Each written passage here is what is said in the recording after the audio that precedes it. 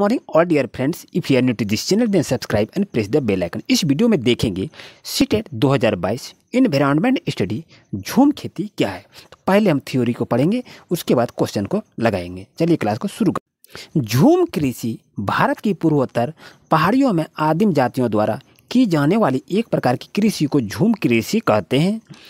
एक आदिम प्रकार की कृषि है, जिसमें पहले वृक्षों तथा वनस्पतियों को काटकर उन्हें जला दिया जाता है और साफ़ की गई। भूमि को पुराने उपकरणों, लकड़ी के हलों आदि से जुताई करके फिर बो बीज को बो दिया जाता है। अब इस महत्वपूर्ण बिंदु को देखेंगे कि आखिर ये बिंदु क्या क्या होता है। तो कुछ वर्ष, कुछ वर्षों तक, प्रायः दो या तीन वर्षों तक, जब तक मिट्टी में उर्वरक या विद्यमान रहती है तो इस भूमि पर खेती की जाती है। इसके पश्चात इस भूमि को छोड़ दिया जाता है, जिस पर पुनः पेड़ पौधे उग जाते हैं। ये अभी आपको थ्योरी पढ़ा रहे हैं, उसके बाद फिर हम क्वेश्चन आंसर करेंगे।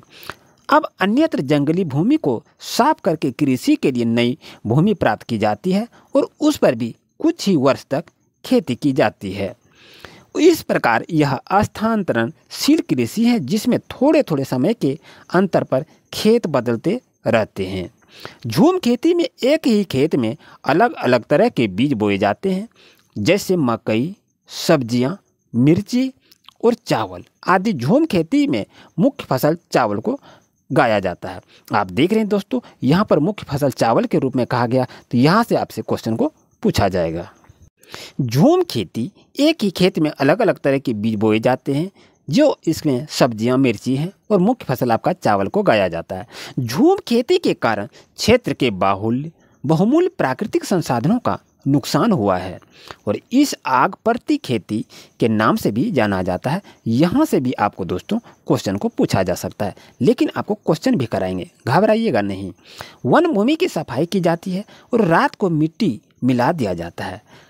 और क्या कहते यह बड़े पैमाने पर भारत के उत्तर पूर्वी क्षेत्र में प्रचलित है। जिसमें असम, मणिपुर, मिजोरम, नागालैंड आदि शामिल हैं। यह एक प्रकार की अस्थायी खेती है, जो मुख्यतः उष्ण कटिबंधीय वन प्रदेशों में की जाती है। अब आप देख रहे हैं, आपके पास क्वेश्चन लेके आ गया है कि झूम खेती पर आधारित महत्वपूर्ण प्रश्नोत्तरी यहाँ हम पढ़ेंगे। तो अच्छी तरह से देखें कि झूम फ़ार्मिंग क्या होता है और क्वेश्चन कैसे पूछा जाता है। तो क्वेश्चन आपके सामने दोस्तों आ गया है। आप देख रहे हैं कि झूम खेती मुख्यतः होती है। क्या होती है? उष्ण कटिबंधीय वन प्रदेश हैं, वर्षा वनों में, मरुस्थल में या ठंडी जगहों में। यानी आपको बताना है कि झूम खेती मुख्यतः होती है, कहाँ होती है? इसके बारे में आपको बताना है। तो आप थ्योरी में पढ़े तो आंसर आपका क्या होगा? तो आपका आंसर अभी आप गेस कीजिए जल्दी से आंसर क्या होगा। तो आपका सही आंसर आपका होगा। उष्ण कटिबंधीय वन प्रदेशों में की जाती है। चलते हैं क्वेश्चन नंबर नेक्स्ट पर। नेक्स्ट क्वेश्चन को देख रहे हैं दोस्तों, आपके पास क्वेश्चन आ गया है कि भारत में किस क्षेत्र में स्थानांतरित खेती करने का रिवाज है? तो उत्तर पूर्वी क्षेत्र में, दक्षिणी क्षेत्र में उत्तर पश्चिमी क्षेत्र में या दक्षिण पूर्वी क्षेत्र में ये चार ऑप्शन है। सही ऑप्शन को चुने। तो सही ऑप्शन आपका कौन सा होगा? उत्तर पूर्वी क्षेत्र इज़ राइट आंसर चलते हैं क्वेश्चन नंबर नेक्स्ट पर। तीन नंबर को दोस्तों क्वेश्चन को देख रहे हैं, आपके पास क्वेश्चन दिखाई दे रहा है। ध्यान से वीडियो को रोकें और अच्छी तरह से पढ़ें कि आखिर ये क्या कह रहा है? उसके बाद आपके ऑप्शन के साथ चलेंगे। तो एक फ़सल को काटने के पश्चात खेत को कुछ वर्षों के लिए खाली छोड़ दिया जाता है। इसमें कुछ भी नहीं उगाया जाता है।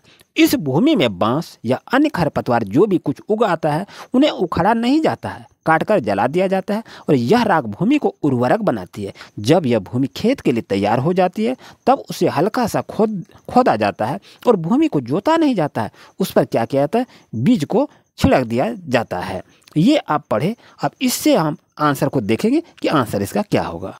उस कहानी को पढ़ने के बाद, दोस्तों, आपको बताना है कि वो सहकारी खेती से जुड़ा है, या झूम खेती से जुड़ा है, या सीढ़ी नुमा खेत से जुड़ा है, या सिंचाई खेत से जुड़े हैं। ये आपको चार ऑप्शन बताना है, जो कि आप कहानी में अभी तुरंत पढ़े। तो उम्मीद है आपको अच्छी तरह समझ में आ गया होगा कि इसका आंसर क्या होगा। तो करेक्ट आंसर आपका क्या होना चाहिए? झूम खेती इज़ राइट आंसर। चलते हैं दोस्तों नेक्स्ट क्वेश्चन पर। नेक्स्ट क्वेश्चन को दोस्तों देख रहे हैं, आपके पास क्वेश्चन आ गया है कि एक ही फ़सल को बार बार उगाने और बहुत अधिक रसायनों का उपयोग करने से मिट्टी हो जाती है। क्या हो जाता है? उपजाऊ हो जाता है, बंजर हो जाता है या एक विशेष प्रकार की फ़सल की उपयोगी है या सिंचाई के लिए उपयुक्त है। तो ये चार ऑप्शन में से आपको सही ऑप्शन बताना है कि आंसर क्या होगा। चलिए वीडियो को रोकें और आप अपना आंसर को बताएँ। उम्मीद है आप अच्छी तरह से आंसर को गैस कर लिए होंगे। आपका करेक्ट आंसर होगा, बंजर हो जाता है। क्योंकि मिट्टी में अधिकतर रसायन का उपयोग करने से मिट्टी क्या हो जाता है? ये ये बंजर हो जाता है। इसलिए करेक्ट आंसर आपका दो नंबर होगा। चलते हैं दोस्तों नेक्स्ट क्वेश्चन नेक्स्ट क्वेश्चन को दोस्तों देख रहे हैं। आपके पास क्वेश्चन आ गया कि किस राज्य में झूम कृषि की प्रथा सामान्य है? तो आपको बताना है, ओडिशा में है, मिजोरम में, बिहार में या उत्तराखंड में कहाँ पर है? तो आप वीडियो को रोकें और आंसर बताएँ। उम्मीद है आप आंसर भी बता दिए होंगे। तो करेक्ट आंसर आपका होगा मिजोरम इज़ राइट आंसर। चलते हैं दोस्तों नेक्स्ट क्वेश्चन पर। दोस्तों देख रहे हैं आपके पास क्वेश्चन कौन सा है कि मिजोरम में प्रचलित झूम खेती के बारे में निम्नलिखित कथनों का अध्ययन कीजिए। आपके पास जो कथन अभी देंगे, उस कथन को देखेंगे कि उसका आंसर क्या होगा। चलिए कथन को हम देखते हैं। तो ये रहा आपका ऑप्शन देखें दोस्तों कि आपके पास ऑप्शन क्या है। एक फ़सल काटने के बाद कुछ वर्षों के लिए भूमि खाली रख जाती है और बी में है, उस भूमि पर उगने वाले बाँस या खरपतवार को काट कर जला दिया जाता है। बीज बोने से पहले भूमि को गहरी जुताई की जाती है और एक खेत में तीन या चार विभिन्न प्रकार की फ़सलें उगाई जाती है और ई नंबर में है रासायनिक उर्वरकों और कीटनाशकों की आवश्यकता के अनुसार उपयोग किया जाता है। तो ये चार ऑप्शन को आप देखिए दोस्तों अब आपको सही ऑप्शन बताना है कि क्या क्या हो सकता है। वीडियो को रोक कर आप ऑप्शन को चुनें। तो आपके पास देख रहे हैं ऑप्शन कौन कौन सा है।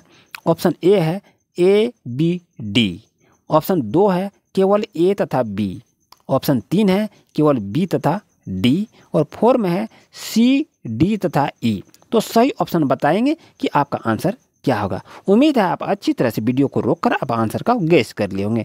तो दोस्तों करेक्ट आंसर आपका क्या होगा? तो करेक्ट आंसर होगा A B D is right answer चलते हैं दोस्तों नेक्स्ट क्वेश्चन पर।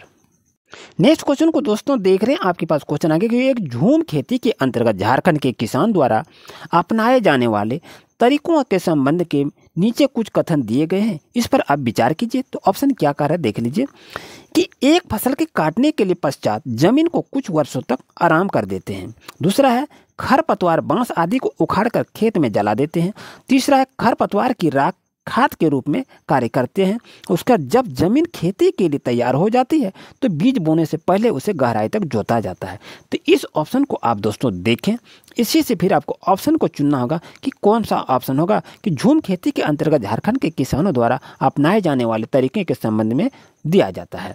तो चलिए आप ऑप्शन को देखेंगे कि ऑप्शन क्या होगा। तो ये देख रहे हैं आपके पास ऑप्शन है बी, सी और डी। उसका ऑप्शन है ए, सी और डी। तीसरा ऑप्शन है ए, बी और डी, और चौथा ऑप्शन आपके पास है ए और सी। तो बताएँगे कि सही आंसर क्या होगा। वीडियो को रोकें और आंसर गैस करें। उम्मीद है आप अच्छी तरह से आंसर दे दिए होंगे। तो करेक्ट आंसर आपका होगा option number four is right A और सी। चलते हैं क्वेश्चन नंबर नेक्स्ट पर। नेक्स्ट क्वेश्चन दोस्तों, आपके पास क्वेश्चन आ गया है। देख लीजिए अच्छी तरह से। झूम खेती की मुख्य फ़सलें कौन सी है? चावल, गेहूँ, बाजरा, काजू। तो बताएँगे सही आंसर क्या होगा। जल्दी से क्वेश्चन को गैस करें। उम्मीद है आप अच्छी तरह से आंसर भी गैस कर लिए होंगे। तो करेक्ट आंसर आपका होगा चावल इज़ राइट आंसर। चलते हैं क्वेश्चन नेक्स्ट पर। नेक्स्ट क्वेश्चन देख रहे हैं दोस्तों, आपके पास क्वेश्चन भी आ गया है। झूम खेती रूप है और अस्थायी खेती का, काट एवं दग्ध खेती का या केवल एक है, या ऑप्शन नंबर फोर है, एक व दोनों। तो सही ऑप्शन को बताएँ, सही ऑप्शन क्या होगा? तो वीडियो को रोककर आंसर बताएँगे। तो उम्मीद है आप आंसर भी बता दिए होंगे। करेक्ट आंसर आपका होगा, एक व दो, यानी ऑप्शन नंबर वन और option number two is right answer next question को दोस्तों देख रहे हैं, आपके पास क्वेश्चन भी आ गया है कि झूम खेती में खरपतवार को क्या किया जाता है? तो आपके पास ऑप्शन है, उखाड़ देते हैं, लेकिन जलाते नहीं हैं ना तो उखाड़ना है, ना ही जलाते हैं, बिना उखाड़े जला देते हैं या उपर्युक्त में कोई नहीं। तो ये आपके पास चार ऑप्शन है। जल्दी से वीडियो को रोककर सही ऑप्शन को चुन। उम्मीद है दोस्तों कि आप ऑप्शन भी चुन लिए होंगे। तो करेक्ट आंसर आपका क्या होना चाहिए? तो करेक्ट आंसर होगा, बिना उखाड़े उसे जला देते हैं। ये आपका राइट आंसर होगा। चलते हैं दोस्तों नेक्स्ट क्वेश्चन पर। दोस्तों नेक्स्ट क्वेश्चन हम लेके आएँगे सी टेट दो बाल विकास और शिक्षा शास्त्र। सोशलाइजेशन से टॉप पंद्रह में एम की क्वेश्चन लेके आएँगे। तो नेक्स्ट क्लास को देखना ना भूलें। आपसे रिक्वेस्ट है, अगर आप हमारे चैनल पर नए हैं तो अभी सब्सक्राइब कर लीजिए और बेल आइकन की नोटिफिकेशन को ऑन कर लीजिए मिलते हैं नेक्स्ट क्लास में। Thank you